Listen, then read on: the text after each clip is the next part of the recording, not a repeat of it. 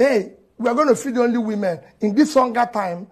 It's just, I don't know. how- All men will dress like women and go and collect the food because we're all hungry. We will even have to dress Bob Risky. He will, will be, he wouldn't even know where the, what is in dressing like a woman. It's not easy. The wigs are sold in the market and everything. Everybody will turn into. So this In the time of poverty like this, the economic principle of Yusuf is what everybody should apply in his own lives. Eat little, save more. You don't know what is happening. Késekése là ń rí lọ́wọ́, àmọ́ kàsàkàsà tí ń bọ̀ o.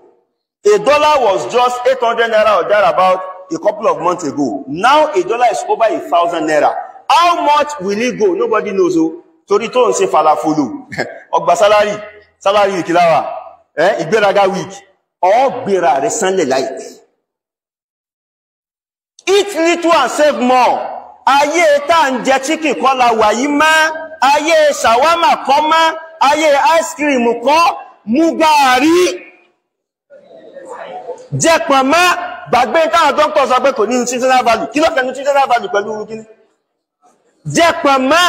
Mú gàárì orí ẹja. Jẹ pọ̀nmọ́ mu orí ẹja. See, I told you, right? The guy, the guy was blazing yesterday while we were on Maiyegun's Diary Political.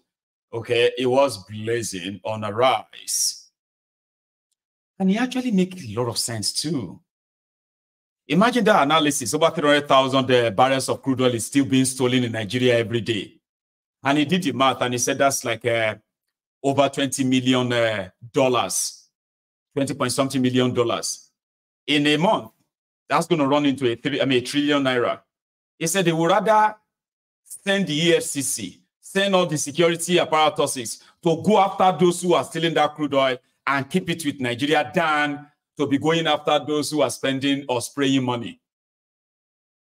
Because the situation in Nigeria right now eh, is so tough that you can't say, oh, we are feeding women tomorrow, only women. You'll be surprised that you will see bearded women that will be there with their wigs and all of that. All of us could dress like women. Okay. Eh? Ask uh, Celia. Celia is uh, somebody who can fit into character very well, right? Gbogbo wa ma dress like women right now. Lord Gerais. That's the situation of Nigeria. So it is not about somebody dressing like a woman and all of that. But somebody now said, Oh, much think Hey, to survive in Nigeria right now, it's tough for man oh, or men. oh. Let's be honest, it's tough for women too. But there are those, somebody said, maybe that's what uh, Idris did. Bobrisky. He don't, ah, the guy don't observe, observe. Oh, my God, tough. Oh, I'm a man in this place. He quickly just decided to be a woman. Started dressing and cross dressing that way. And that is what brought him to where he has gotten to today. And they will say, well, it's because so. And if you are not surprised, though, there are some recent scourge increase in that, that there are so many, many men who are now turning to women in Nigeria now. They will tell you that they are not, they are not uh, gay or they're no, they are just cross dressers. Because everybody to survive. So I don't know, like, I don't know how women are feeling about that because it's making it, it's giving the vibe that once you are a woman, it's going to be easy. And it's not. It is not. You know? But some people are like, kind of like, ah, oh, more, that's smart. Oh. Uh, that could actually be what Idris did. But it doesn't matter. Then they pressed him on that Soludo people, Soludo people said, all this your noise, Soludo's two years is better than your eight years as governor of Anambra States. And he said, well, I promised Anambra State people education, infrastructure, security. I delivered. Soludombu promised them Aba, I mean, sorry, Dubai, Japan. He should deliver Dubai, Japan, and not really worry about himself for not turning Anambra to Japan because he didn't promise Anambra people that he would turn Anambra to Dubai, Japan. Listen to this. Ludo has achieved more than. I wanted to correct that part. You see, that was Andy Uba, not Ifeanyi Uba. Okay. And I remember in 2021, when the now defunct Heritage Bank, when the staff of uh, that uh, bank, they had to stage a protest in front of the senator to pay them the money it took. Yeah. Good morning, ladies and gentlemen. Um, today is Monday, the 21st day of June 2021. And then we'll have here the staff of Heritage Bank, PLC Abuja. We're in front of um, Senator Andy Uba's house in Abuja. Senator Andy Uba has been owing the bank for a couple of years now. And um, we're here for a peaceful meeting with him, very peaceful meeting, to ask him to kindly repay those loans because those are depositors' funds. And um, those monies, if they are not repaid, we throw the number of people you see here with their families out of work. And we know the situation of um, the economy now. So if this number of people are thrown out of work, you know what it means. So we're here to appeal to him, to the distinguished senator, to kindly pay this money so that um, these people will not lose their job. And of course, the bank becomes a going concern. Today, three years after that protest, all of these people have lost their jobs now and more. Okay? And the bank is now defunct. There is no Heritage Bank anymore. There are four more banks that will go under before December if they don't find investors that's going to buy their bad debts. Heritage Bank drowned because of 590 billion naira exposure. Exposure means debts that people didn't pay back.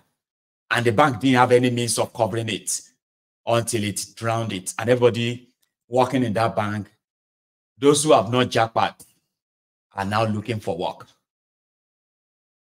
There is conversation around some of these four banks eh, that will likely go under if uh, they don't find people that will buy their bad debt. One of them is almost close to that heritage debt, over 400 billion. I won't mention the name so that it won't be like I don't, I mean, I don't, I, have already created, I mean, created panic or something. So there's no point. There are some of them that are going to get, uh, that are going through aggressive takeover now. They will force them to sell the bank as a scrap. While Tiknumbu will write up the debt for whoever is buying the bank. Let me tell you what that means. Let's say this Heritage Bank now, eh? there is a, um, uh, deposit, sorry, uh, NDIC, the National Deposits Insurance uh, Corporation, Abi. Is it corporation or commission? Corporation. Now, they, then there is another one called AMCON. Okay. That AMCON is to recover debt. For example, now, if a bank is going bankrupt, okay, so before they go bankrupt, they can talk to AMCON to go and help them recover the the bank loan from their customers. Okay. Then uh, if that fail and the bank liquidates, so the next uh, corporation that will take it over is called the NDIC, National or Nigeria uh, Deposit or Depositors Insurance uh, Corporation. I don't know, like something like that. So those ones are now the ones who are now going to deal with dissol- I mean, dissolving the bank. Okay. They will value the properties of the bank, the ones that is owned by the bank. They will value how much money the bank still have left. They will take a look at how much is the depositors' money, all of you who have deposit there, how much and how, you know. So once they clear all of that, which can take them months, now they will begin, they are now the ones that will now begin to sell the properties of the bank. And in most cases, they don't always have the money to clear and they always tell Nigerians to go and lick their wounds. That's what usually happens. But you know what they do with banks in Nigeria? before Heritage Bank will go down, okay, um, normally they will look for investors. So the investors that will help, that will bring in investments, like they are in debt of 590 billion, right? So somebody like me can just say, I have, let's say I have um, $1 billion. So $1 billion will give me in Nigeria maybe 1.4, 1.5 trillion naira. So then I can now say, I want to go and sort of uh, renegotiate the debt, see how much of it we can get back. But pending that time, I will put that 590 billion back in that bank. So instead of the bank being held by a lot of people, I will, the bank will now be holding me, and that will be issued to me as my shares. The rest of the money I'm bringing in as well can be used to upgrade the bank, hire more staffs, expand operation, and see how to make more money in a short period. That is an investor part. You see the part where the fraud and the corruption and aggressive takeover is taking place or is going to take place in Nigeria. Eh? Here, AMCON can't get back the debt from the politicians. There is no investor to buy the debt. So Tifnumbu and his gang will now sort of, to save, for example, to save the heritage now, right? They will say, we will buy the heritage bank for 300 billion. Meanwhile, Heritage Bank may be worth, even the leftover without the debt, too, they may be worth, let's say, 1 trillion or 1.5 trillion in assets and everything. So to buy them as scraps, since there's no investor, the likes of Tifnumbu and gang, they will send someone. First, they will undervalue the entire bank. Okay? Because of that debt, they will undervalue it. Now, you see that debt, Tifnumbu and his gang, they will just write it off like AMCON has written it off. You get that now? So the Central Bank of Nigeria book will clear that Heritage Bank doesn't have 590 billion naira debt anymore. So once it is clear, the bank becomes the property of whoever is buying it, and they can now use it for all the money laundering, everything they want to use it for. But they couldn't save the Heritage Bank this way. There are some banks right now that are also in financial trouble. Okay. So instead of opening it up in a way that they make everybody who might want to kind of buy their debts normally, not for any other sinister stuff, right? They are keeping all of that behind now. You are just going to wake up one morning, they will say breaking news. Those of you who have money in those banks, your money is gone. But before the money is gone, they will call all their friends, like this Heritage Bank now. Before you get the announcement the Heritage Bank is gone, they've called all their friends who have money in Heritage Bank to go take all their money out. Heritage Bank is about to go down. Now, people like you, they we have a 10 million, 5 million, 2 million, 1 million, 100,000, 500,000, 100, you know, like that in your banks, you will be the one who will now be asking them, when are they going to pay us our money? You can't withdraw your money. And all of that is now going to be the property of the NDIC. The NDIC is now going to liquidate the entire bank with the money inside and you will never get your money ever. Ask those who have become victims of banks that liquidated. Or you see those ones whose banks were taken over, they were lucky. Because that one just simply means they keep the customers. They ensure that uh, the deposit uh, fund in their banks, right, is still kind of guaranteed by the central bank that they are not going to take uh, their loan from, I mean, they are not going to take their debt from it. It's their money. That's all they need. And the rest of you in their bank, you can pretend that nothing happened. But once your bank is announced that it's going down, everything inside it goes into the pocket of uh, the politicians and they are appointed uh, dissolutor, Abikilamakwe, person that will help you liquidate everything. So Andy Uba, a politician from, um, you know, a politician, was part of those who took uh, tens of billions of uh, naira as loan from Heritage Bank. And now this loan they took was your money, depositors' money. They are now telling the depositors to wait till they sell the properties of the bank before they can receive their money or withdraw their money from their banks. Where is your government? Because they are the ones behind it.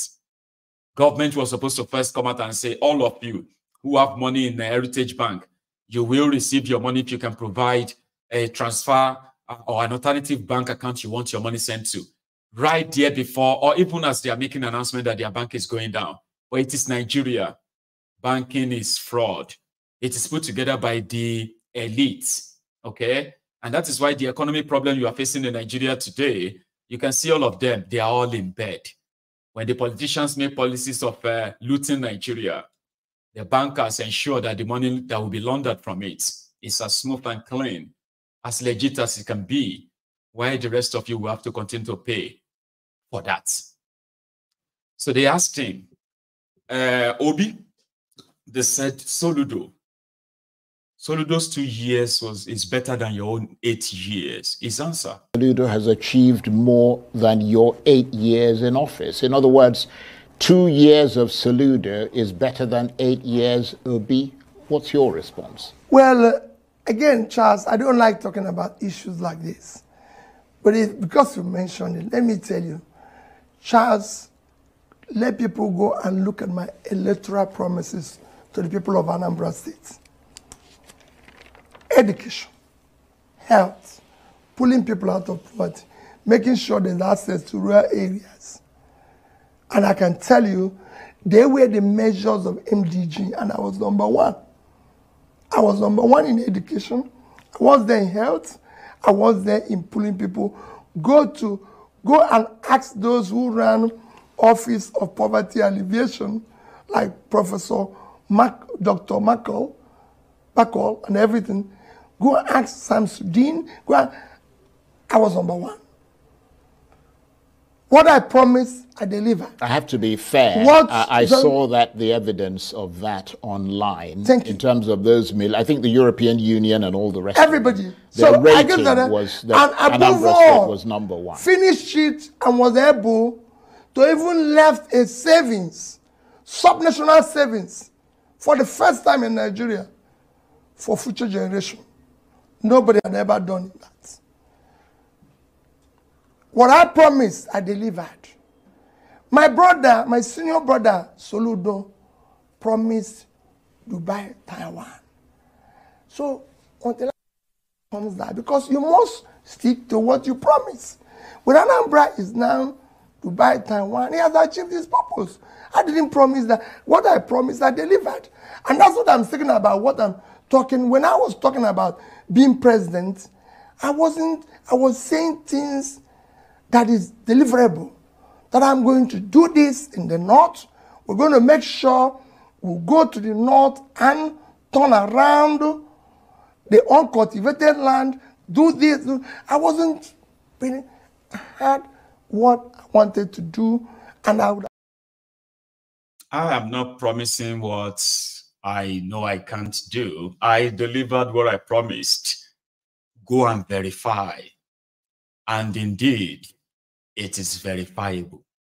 It was number one during his time in education, delivering the Millennium Development Goals on education. It was number one all over Nigeria. But you see, politics are now making it like, wait, wait, you know, build school, you know, build this or that. That's way told them. You remember this Soludo? How many of these has he done now, by the way? Just on the side. It's Abacha from Umunze. Okwa from Isofia. Anambra rice with Ofaku. Nkwenu from Obu. Ingwo from Awandoba. And malt and bottled water from Onisha. How many of those Solo Soludomba has done now? That should be the question people say. All right. And uh, well, that is where we are going to leave it. So that is uh, the first part of uh, this chart. And it seemed that we have uh, spent for, I mean, longer than uh, usual. So he said something about uh, Soyinka and the rest as well. When they asked him about Soyinka, he was like, mm, Soyinka is an elderly person. I wouldn't want to like uh, reply him or be engaging on the uh, on the TV with him. But there's something though. He said he said there's something though. I would love to put myself in a respectable position when I grow old to the age of Shoyinka. I would love to put myself in a respectable position where young people would actually really respect me. And that's all he said. So the confessor Soyinka, the man that has been trying to gaslight the young people for asking for a good governance or a better country, eh, has lost uh, all his respect with majority of sensible people, not the ass kickers. You see those ones who, call Nigeria shithole under Bokuwari, all those Olori Buruku, Ronuku, Ronu Nazis, ass kickers, especially those ones who live abroad, who are now patriotic Nigerians from abroad. They actually called Nigeria shithole because the man in charge was uh, Bokuwari. Now, the demented uh, money coin, another demented money coin with a shit for body. Tipnumbu, druggy. Now they are now patriotic Nigerians abroad. Eh, ní kure one by one. We see you. Along there, see you too. Emma Shoponi, tile tile tomo tomo. Because we know some of you who have suddenly eh, became a patriotic Nigerian in order to further help entrench this madness in that contraption now you love Nigeria. Anybody who is now talking is like somebody do, that doesn't love Nigeria. And Ẹni kure one by one. Ṣámi àbíwèrè wà lórí ẹ̀, mo ń ṣépè fún òun rúnjú, àbólórí burúkú nìyẹn ni. You Abobaku is watching me. Mo fẹ́ burúkú one by one. Eh? Mo ń ṣépè fún ẹ̀ olórúnjú tó yẹ kó ṣàmì. Ẹ̀yin lórí burúkú you live abroad. We all agree that Nigeria was a shithole. We don't know that uh, you guys are Ronu Nazis the Ronukus. Now you want us, uh, you probably are jumping from one place to another to tell us now how Nigeria is going to be a great place under the druggy. Some of you are even offended that they are calling Tefnubu drug dealer. Are you Shemadini? Eh? Anyway, I'll leave it at that. Let's take calls. There's no time for us to read uh, the book without skipping the phone call part. So I have, uh, let me see, I've got uh, 20 and now, so I've got just about uh, 70 minutes. We can use that to take some calls, okay? So thank you so much uh, this afternoon. Mm? I will take a quick break. And when I come back, yeah, you can call in and possibly come and express yourself too. Yeah, even you, Diabobaku. Yeah, Lofo. Pick up the phone, and Ashire. Don't don't type. Stop typing. Pick up the phone and call in. Yeah.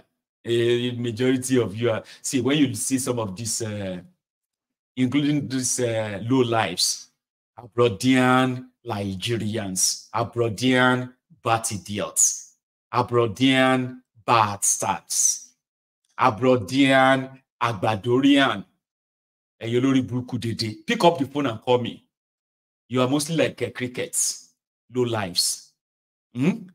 you have those who look at you from Nigeria, and some of you, it's like that dream of, ah, I can't wait to go abroad, and everybody will be looking at me and respect me. Now, they, they are destroying Nigeria. We are asking the whole contraption to be broken up. Now, you are calling people unpatriotic. You suddenly became patriotic. You are calling people Omali because of a drug dealer who don't know him papa, who don't know him mama. Pick up the phone and call me. Because you are just like a cricket. You are there. You have everything. You have all to say. You have all the slaves back in Nigeria who are living in that darkness, looking at you and possibly hoping they have a, a you know a miserable life that you have abroad too, and therefore you're everywhere. Let's give them time. Nigeria Shimadu. There's one way they call Nigeria Shimadu or something like that. Pick up the phone and call me. I'll give you the answer or any question you have. Don't type. Stay away from that uh, comment. Pick up the phone and call me. I'll be back in a minute or two. Uh, don't go anywhere yet, though.